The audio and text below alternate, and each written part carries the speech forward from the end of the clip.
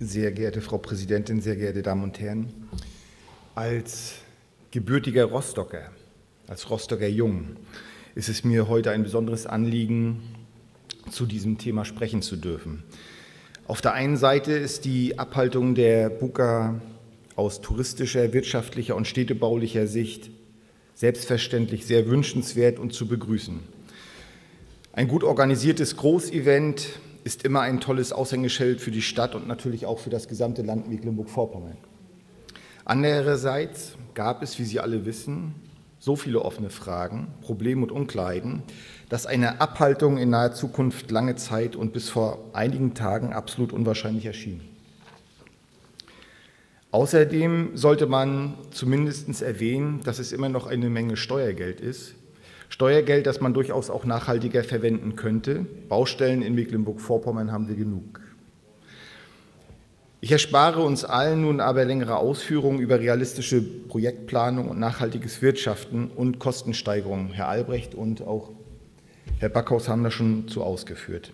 Glücklicherweise kam es aber vor wenigen Tagen noch ganz anders, denn die Bürgerschaft in Rostock hat sich entschieden.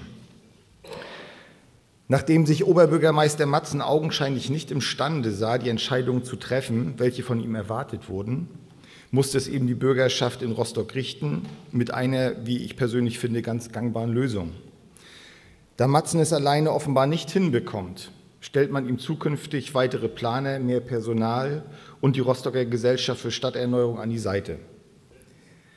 Der Weg ist geebnet für die Buka und OB Matzen hat die Beschlüsse der Bürgerschaft schlicht einfach und ergreifend umzusetzen. Auch wenn Matzen weiterhin auf seinem Standpunkt beruhen sollte, dass er es nicht bis 2025 schaffen wird, was nebenbei erwähnt mindestens purer Defetismus oder im unwürdigsten Fall sein vermeintliches Sprungbrett in die äh, Kieler Staatskanzlei ist. Er, er will Minister werden.